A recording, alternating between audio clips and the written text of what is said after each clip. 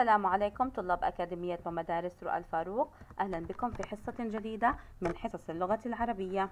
في الحصة الماضية يا سادس شرحنا درس وصية الآباء للمعلمين. اليوم سنقوم بحل تدريبات هذا الدرس ونبدأ بأسئلة المعجم والدلالة. فرق في المعنى بين ما تحته خط في كل جملتين متقابلتين مما يأتي. ألف عليه أن يسلم الولد لمرب صالح. ما معنى يسلم يا راشد؟ أحسنت أي يعطي. ما أجمل أن يسلم المرء على الجميع؟ ما معنى يسلم يا هبة؟ رائعة يرد السلام. با روهم من الحديث أشوقه. ما معنى روهم يا حسام؟ ممتاز أي يروي لهم أو حدثهم. يا بني المسافرون عطشا فروهم. ما معنى روهم يا سلمى؟ ممتازة أي اسقهم الماء.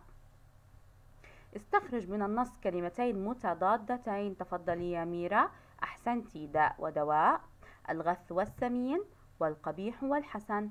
السؤال الرابع استخرج من المعجم معاني المفردات الآتية. مكارم قرناء ومعقودة. تفضلي يا سلمى. أحسنتي مكارم أي أحسن. قرناء مفردها قرين وهو الصاحب. ممتازة معقودة أي متصلة أو معلقة. ننتقل إلى أسئلة الفهم والاستيعاب والتحليل. السؤال الأول اذكر ثلاثة من أوجه العناية الدقيقة التي يجب على الوالد أن يحوط بها ولده. رائع يا راشد الرعاية والتربية الصحيحة. يعلمه مكارم الأخلاق يحفظه من قرناء السوء. السؤال الثاني بينت الفقرة الأولى صنفين من المعلمين. حددهما يا حسام. ممتاز. أولا معلم ناصح يحفظ عليه أي على الطالب أخلاقه أو على الولد ومعلم لا يميز الحق من الباطل والغث من السمين.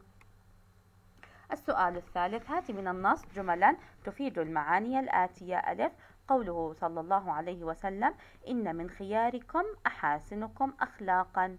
تفضل يا هبة. ممتازة. يعلمهم مكارم الأخلاق ومحاسن العادات. ب المعلم قدوة لطلبته في سلوكه تفضل يا آية. ممتازة. الحسن عندهم ما صنعت والقبيح عندهم ما استقبحت. السؤال الرابع بما شبه عمرو بن عتبة المعلم في وصيته يا رؤى. ممتازة. بالطبيب الذي لا يعجل بالدواء حتى يعلم موضع الداء. السؤال الخامس لما طلب عبد الملك بن لما طلب عبد الملك بن مروان من المؤدب تجنيب ابنه أهل السوء. تفضل يا خليل. ممتاز.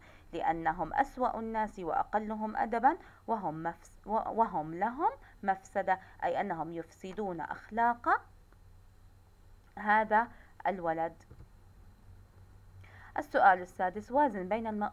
وازن بين الوصيتين من حيث اتفاقهما على ما ينبغي على المؤدب تعليمه الصبية؟ تفضل يا رؤى. تفضلي يا رؤى ممتازة. تعليم الأبناء القرآن والشعر والأخلاق الحسنة. السؤال السابع أي الوصيتين وجدتها أقرب إلى نفسك؟ ولماذا لك حرية اختيار أي وصية؟ وبيان السبب.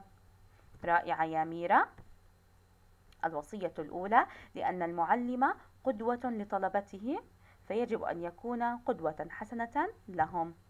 وهكذا نكون قد وصلنا لنهاية الحصة. لا تنسى نقل الإجابات على دفترك بخط مرتب ونلتقي في حصة قادمة.